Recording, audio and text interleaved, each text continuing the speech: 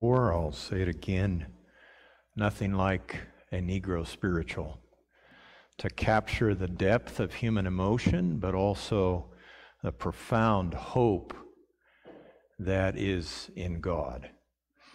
I also, uh, this was reflecting as Patty was playing, that um, this was very fitting for our theme and, and the subject we're working on uh, right now. Psalm 77 and this whole challenge of human distress. Uh, what do we do with the distress that comes into our lives? How do we face it? How do we handle it? How, how do we cope? Uh, we find this theme not just in Psalm 77. This morning, uh, Lori read for us uh, from Psalms 131, where it paints that picture of a weaned child leaning against the parent for, for refuge and for help.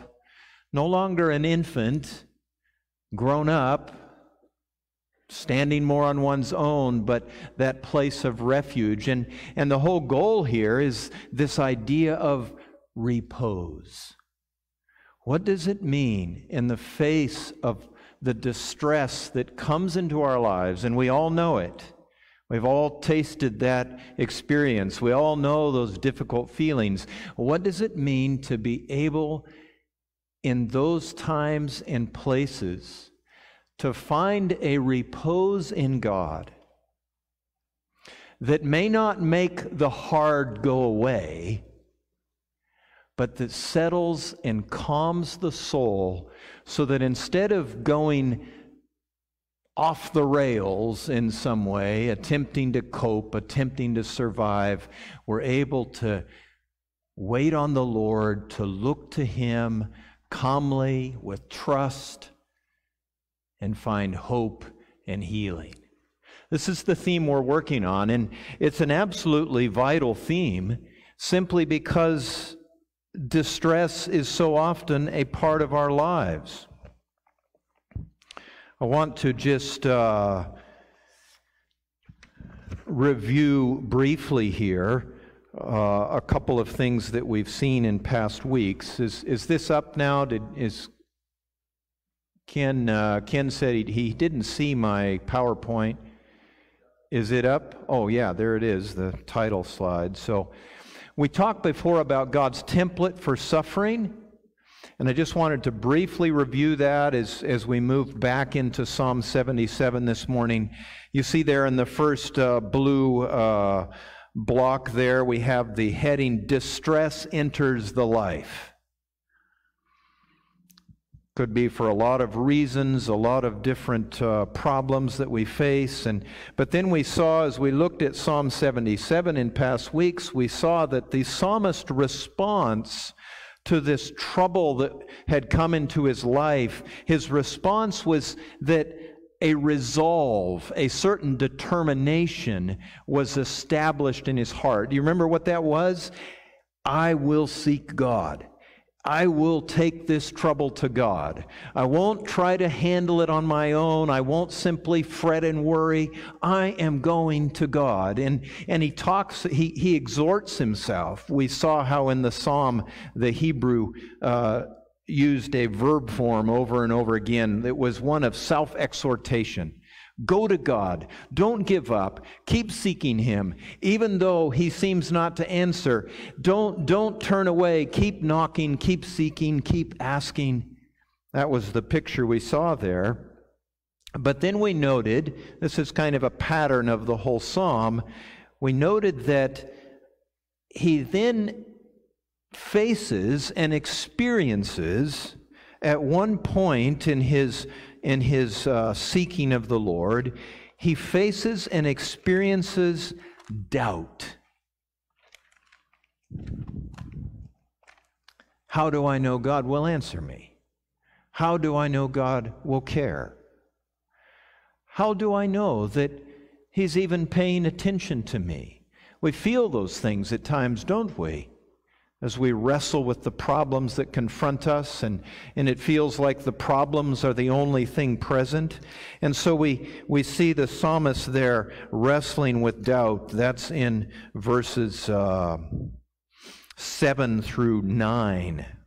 Will the Lord reject forever? Will he never be favorable again? Has his loving kindness ceased?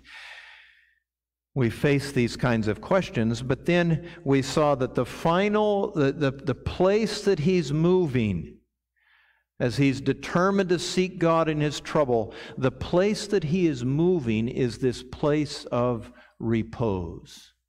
And we talked about that in past weeks. A calm, confiding, restful trust that even in the face of great difficulty, the confidence has been gained. That the one who puts his trust in God will never know shame of face, never let down, never abandoned, never pushed off to the side. No, the repose that God is faithful.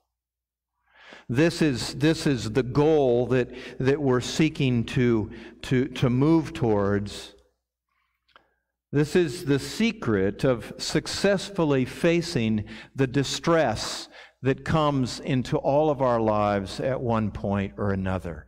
We want to know how to find this place of repose. Now, I want to be clear before we move on and back into the psalm. This attainment of repose it's not merely a matter of human willpower. We're not talking about uh, even something like cognitive behavioral therapy. CBT is, is a big deal these days, where you talk to yourself and you remind yourself of what healthy thinking is and, and so forth and so on. Uh, maybe what we end up doing parallels that in a bit, but, but this is not just a human thing that we do this movement through distress to the place of repose. Not just a human accomplishment. This is something that the Holy Spirit will work in your heart as you look to Him in your distress. It's a gift of God. It's something He brings to you. And, and he, he seeks to stir up in your heart that resolve, I'm going to seek God in my trouble. But as he stirs that up in your heart, he answers that, that movement that he has begun in you, he answers it by creating in you this gift of repose. What I'm trying to say is, this is not something you have to feel, oh, somehow I have to pull this off. Somehow I have to accomplish this in the midst of my distress and difficult emotions and tendency to depression in the face of trouble and, and all of these things that come at us. It's not that you have to pull something off, it's that He wants to do something for you when you're in that place. He wants to work with you and in you to bring you to that calm and settled trust, the weaned child leaning against the refuge of a strong and able parent. And so, this is a miracle of God in the life, this movement. It's a gift from God.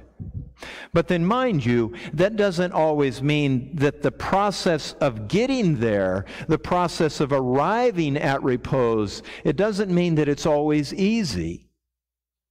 It can be challenging, it can be difficult. Whenever difficult emotions come on board, it's hard for us, isn't it, to wade through them. There's something about distress that dulls the heart and blinds the eyes. What seems so clear before? You think of the day when when you're on the mountaintop spiritually and, and you see God clearly and every your heart is filled with joy and strength and and everything seems so clear and and you you say how could I ever doubt him? He is so good. He is so present. He's helping me in so many ways. What a glorious God. You think of those times, and how could I ever doubt? And yet, when trouble comes, we can find ourselves pulled down into the depths where it becomes very difficult to see how good God is and how faithful He will be. So here's the vital question. We're going to wrestle with this today. How do you come off the victor spiritually when you find yourself in such a place? How do you come off the victor? How do you arrive at the place of repose instead of being driven down into the depths of discouragement and despair and running off somewhere else to try to find relief? How do we, how do, we do this? To answer that question, we want to pay closer attention to verse 10. Now, I know that, uh, see if I can get that to move. Maybe I have to hold my tongue right. There we go. We want to pay closer attention to verse 10. And once again, I mentioned this in past weeks, there's quite a variety of translations of this verse. And I don't want to go into all the detail of why I have settled down upon the King James Version as the one that most accurately translates the Hebrew from this passage. But there it is. Uh, your version may be different. My own version is different, but I think this is the most accurate translation. And, and here's how it reads Verse 10 And I said, This is my infirmity, but I will remember the years of the right hand of the Most High. Now, you'll notice immediately that there are two parts to this verse. And I've marked it there in what I've put on the screen. There's first of all a statement This is my infirmity.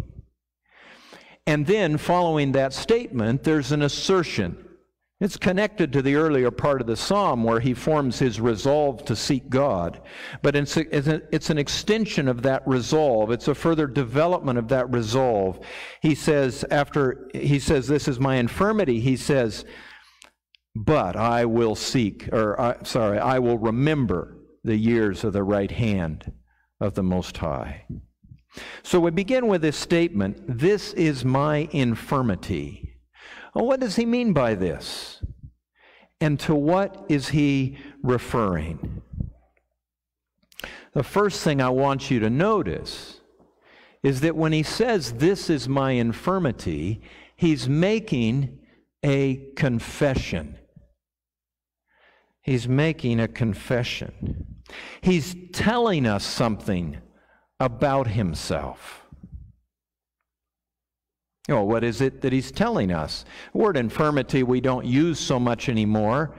Uh, easier word, one that we're more familiar with, is the word weakness weakness, or we might even imply the idea of failing. This is a failing I have. This is a, a, weakness I have. And, and so he's telling us that he has a weakness.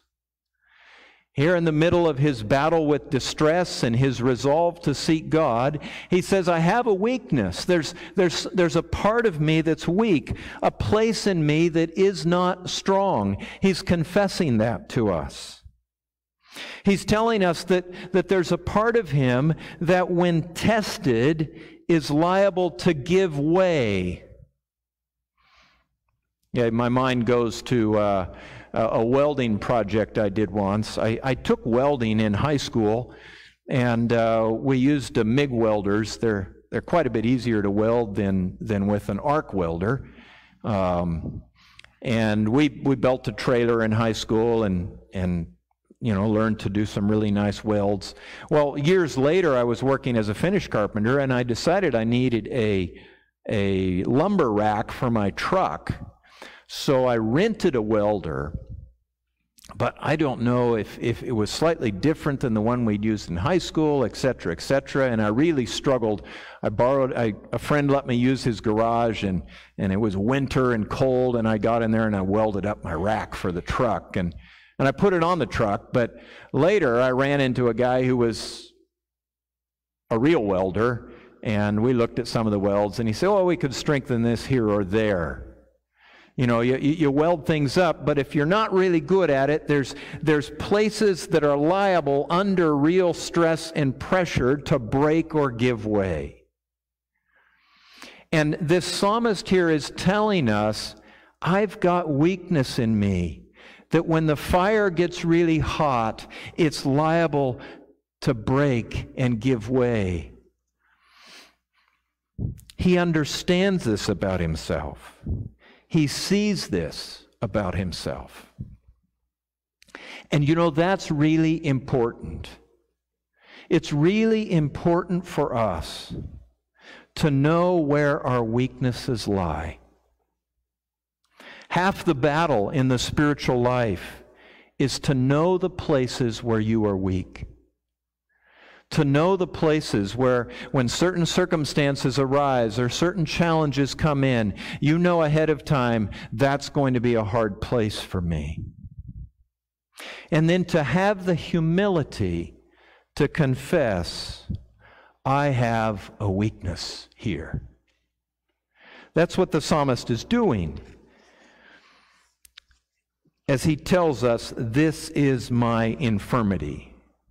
We could put it in more modern English this is the place of my weakness. But then, what is that weakness he speaks of? What is the weakness that he confesses, the weakness that he's, that he's telling us about here? Now, to answer that question, we must pay attention to the verses that, that go before. So in, in this verses from verses 7 through 9, I referred to it a bit ago, he's, he asks a series of questions.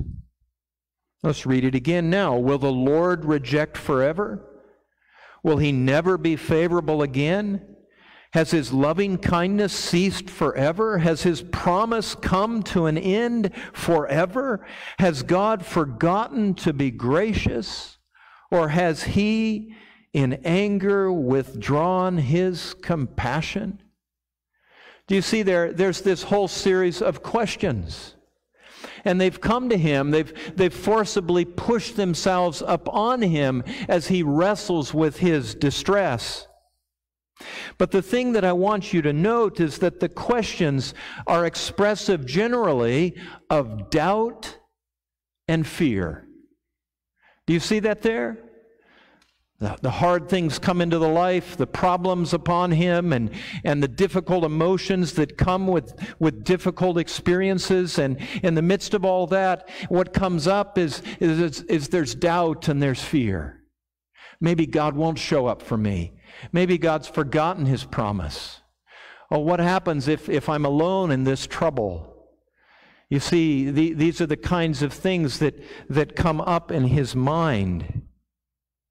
And in his confession, what, is, what he is saying, what he is telling us, is that in his distress, in his experience of distress, he tends to forget certain things about God.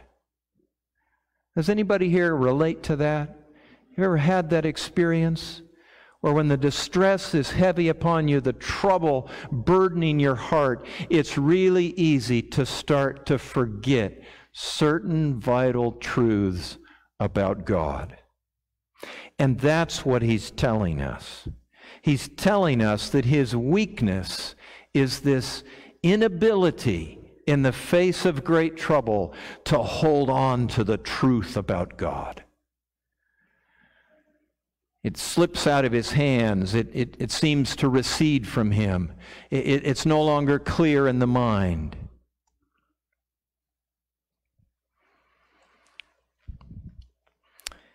And so, as he forgets, it leads to doubts and fears, and the doubts and fears threaten to overwhelm here. Now, mind you, the great danger here which I think all of us, as, as we reflect on our own experiences, the great danger here is that the doubts and the fears begin to feel like the thing which is most real. You get that? I, I want to say that again. The doubts and the fears begin to feel like the thing that is most real. I forgot a slide here, kind of capsulates or encompasses, summarizes what I've just tried to say. What are we to believe when we're in those places of, of trouble and, and great distress? What are we to believe? Our doubts and our fears? Or the faithfulness of God? But you see, the danger is, is that in the face of those troubles, that the doubts and fears begin to feel most real. God doesn't seem real anymore. And as the doubts and fears assault the soul, they seem more and more certain to be true. The great truths about God less and less to be true. It's a terrible place to be in. But all the great saints have known it. You read through the scripture, you read the stories, you read the experiences of men of God and women of God all down through the ages. And they face this same challenge. It's not just unique to, to me or to you, it's common to God's people all the way through. But it's a difficult place to be in. But again, we read the stories Jacob and Job and David and even the Christ himself. They all knew this particular battle. But of course, then again, the great thing that we want to know is how are we to come out from such a place? Where God seems less and less true, the doubts and fears more and more real. How do we come out from such a place? And it is here that his confession helps us. It is here that we find the answer, the key to facing our distress and being able to successfully move to the place of repose. And it's in this confession. Notice that when he says, when he says, This is my infirmity, he is placing a question mark over everything he's feeling and the doubts and fears that are coming in with them. Do you see that there? It's vital to see that a question mark has now been placed. Instead of the doubts and fears being the thing which is most real, he says, No, the doubts and fears are actually only here because I am weak, because I'm human, because I've been touched by this sin problem. In other words, what he's saying is if I didn't have this weakness, a doubt and fear would never come upon my radar, no matter how difficult the distress might be. Do you see that? It's the weakness of the human heart that brings the doubts and the fears into the picture. And it's not that we are to be uh, ashamed of that weakness, as it were. It's part and parcel of who we are in this world. But to confess the weakness, to confess that I am wrestling with doubts and fears, not because God is not faithful, but because I am weak. Oh, that changes the whole picture. I, I like this picture. Uh, I, I found it on, on the web PowerPoint. You can do this little thing and they'll bring up design suggestions. And, and I saw this picture and I said, oh, it's perfect. Do you see all the little men falling over like dominoes, being influenced by the doubts and the fears? But then the confession is made and it becomes a bulwark that stops the whole process. Wait a minute. I'm only doubting and fearing because of my weakness. And that opens a door to turn in a new direction. You see, when, when, the weak, when, when, when the trouble is assaulting us, the doubts and fears are seeming more and more true. To make this confession, it relabels the doubts and fears. It, it puts a new label upon them. They're a part of my weakness. not a part of what is true and healthy and strong and vigorous. No, they're a part of my weakness. It's a very human weakness. But let me call it what it is. And it is this movement, this shift, that allows us to begin to refocus again on God.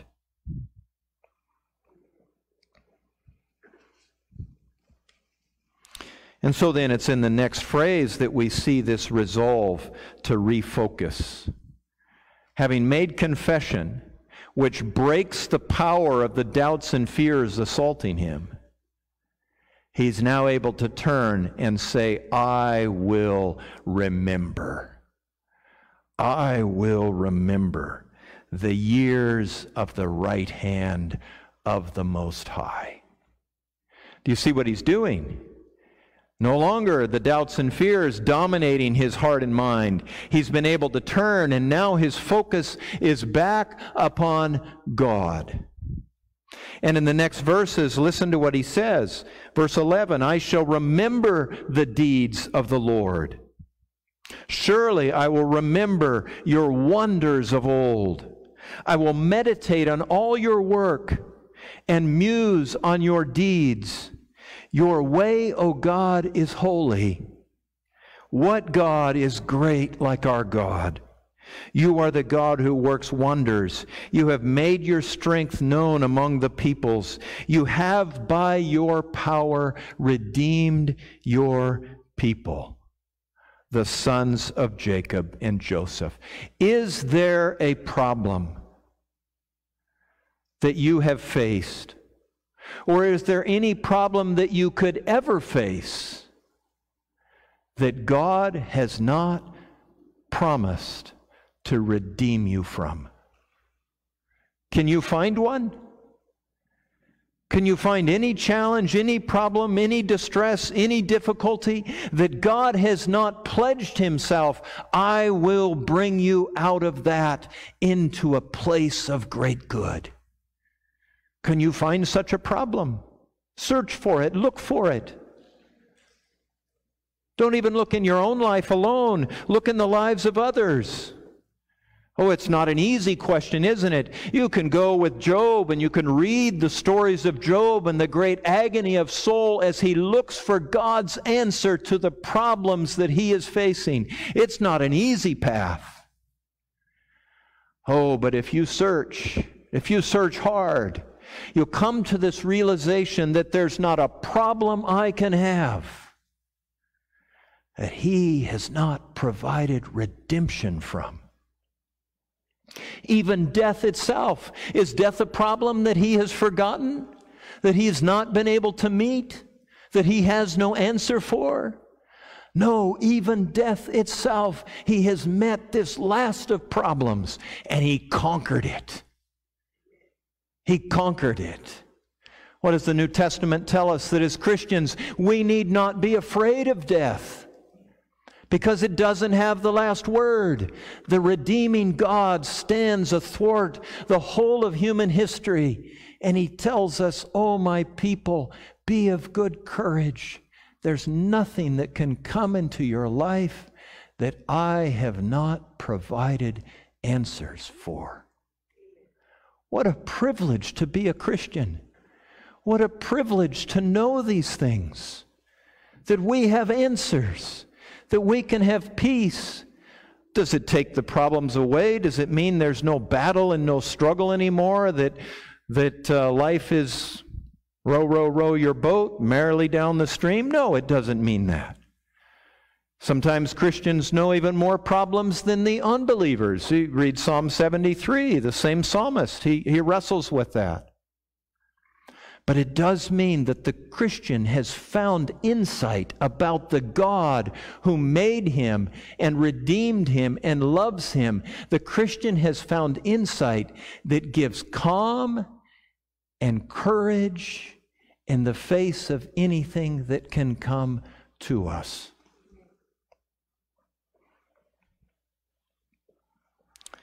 You see, this confession begins to set things right and to put them back in the right perspective. The doubts and the fears are relabeled. They are now correctly seen as weakness, and this robs them of their power. And then we're able to move back to consider. I think, do I have another slide here? There we go. Perspective shift. Our perspective can shift back to, to where it should be. Before we remember, before we make confession, circumstances are in our viewfinder. And when we only see circumstances, when we only see the problems that are in front of us, doubts and fears take over and we become preoccupied with our own inner world, with our feelings, with the, with the distress that we're experiencing. Oh, but when we make confession and we're able to, to shift and focus back on God, God comes into the viewfinder.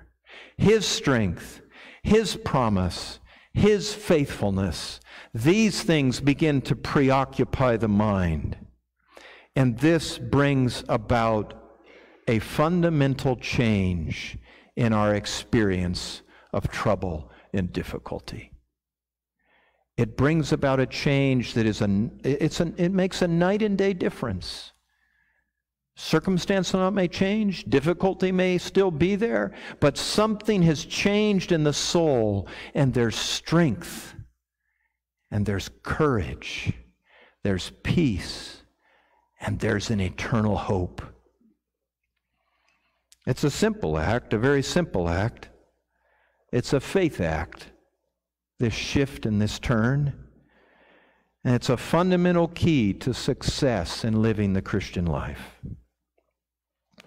I want to end by, you know, I, I, I, put this in my notes and I thought, have I told that story already?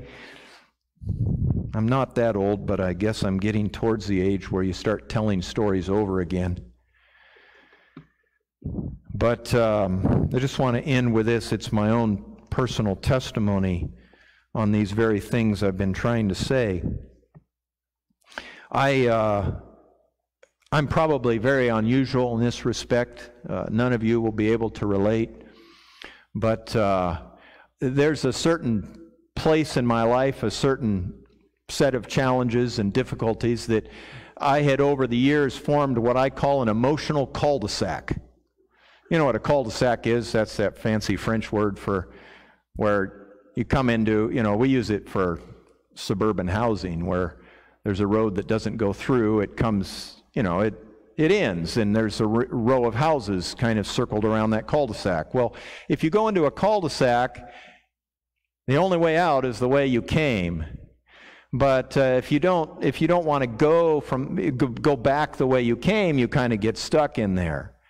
And so over the years, I had this emotional cul-de-sac where if I would drive into that little circle, my emotions start churning around, taking me down. I get more and more distressed and feel almost frantic at times. These emotions are not fun, and I don't know how to get away from them. You know, and, and the thing is, when, when you only see from your human perspective, you see certain elements in your experience, or there's certain thoughts in the mind, and, and, and they keep you there. And so I had wrestled with this emotional cul de sac for, for decades. Not that I was stuck there all the time, but often enough I'd find myself back in that circle and eh, not a fun experience. And, and my heart had become more and more weary when I'd find myself there. And I'd come to the place of almost despair Lord, I don't like this, but I don't know how to to find the road to anywhere else. And I was in this mindset one day, experiencing these difficult emotions, and I came in from my wood shop and I laid down on the bed. And all of a sudden, the Holy Spirit said to me, you know, I'm asking this question God, what do I do? You, haven't seemed to help. You hear the doubts and fears. You're not showing up. You're not helping me here. Uh, I don't think you care about me here. All of that can easily play in the mind. And all of a sudden, the Holy Spirit said to me, as I asked, What can I do? He said, You can worship. You can worship. What? It, it, it, just caught me off guard. I said, What? Worship? But God, that's not fixing the problem. That's not, you know, you're not giving me answers for my problem. No, no. You can worship. Do you see that's the very thing that the psalmist in Psalm 77 is pointing out to us? Take your eyes off the problems. Take your eyes off the things that distress. Oh, but you say, if I take my eyes off of them, who's going to solve them? Who's going to work them out? They're, they're threatening to crush me. Who, who's going to take care of me? Take your eyes off the problems. Put your eyes on God. Worship Him. Begin to think about who He is. Think about His faithfulness. Think about the evidences all through the scripture of his deep and profound love for you. Think of his promises I will never leave you or forsake you. Think of what he said in the Gospels Anyone who believes in me, even though he die, he shall yet live again. What a God we have.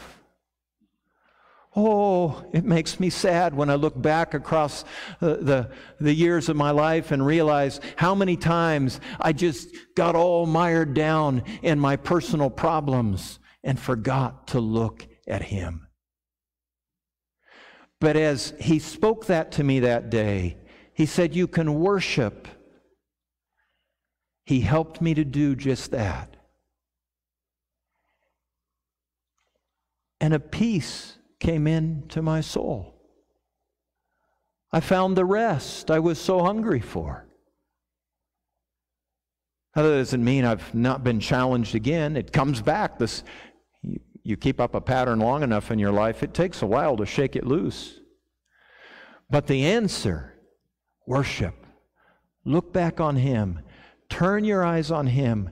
Preoccupy yourself with Him and not your troubles. Stand still, is the, the verse Patty quoted. Stand still, and the Lord will fight for you. Let's pray.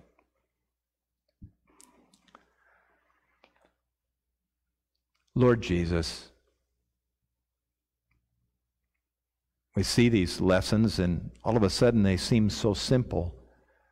How could we have missed them? And yet we know that the evil one does everything he can to mire us down in doubts and fears. And that the context of trouble in our life is it's a context which, because of our weakness, we easily get lost there. But Lord, as little children with our needs and our weakness, we appeal to you Teach us, Lord, to see you. Teach us, Lord, to be able to worship and to hold on to the truth about you, no matter what is happening to us. And Lord, bring us that experience of repose. Bring it to us, Lord. We need it.